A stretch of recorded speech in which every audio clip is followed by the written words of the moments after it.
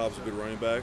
Uh, even a quarterback's got some good speed. We got to, you know, he can use his legs. So we just got to play fundamental defense and uh, be stout up front. Does that change anything for you when you face a quarterback like that? He's actually kind of a physical guy too. Um, you know, it just depends what our game plan is, but most of the time it just comes down to fundamentals and just executing what the defense is called, and uh, you know, that's pretty much it.